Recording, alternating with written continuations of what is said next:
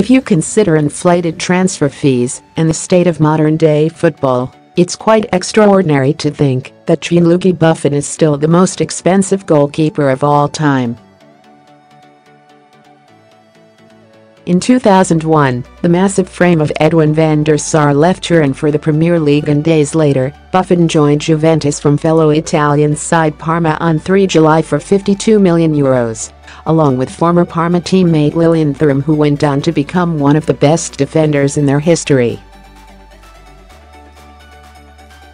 Buffon was named the most expensive goalkeeper of all time. 17 years later, the Italian still holds that remarkable record. The 40-year-old is arguably one of the best goalkeepers of the past two decades, and in the past, Buffon has come up against a number of iconic strikers.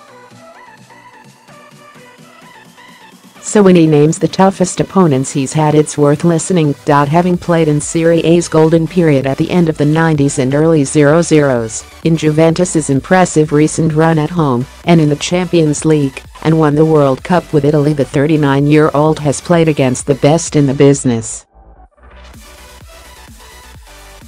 But who exactly is the best? Speaking to Copa90, he named the four men who were his toughest opponents saying that Ronaldo, Lionel Messi, Cristiano Ronaldo and Zinedine Zidane would get in any team. In the interview, he says, I really hate strikers.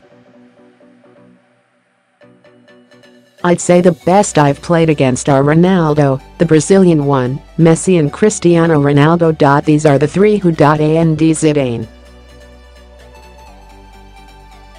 Let's add Zidane. These are the four who would start in any team.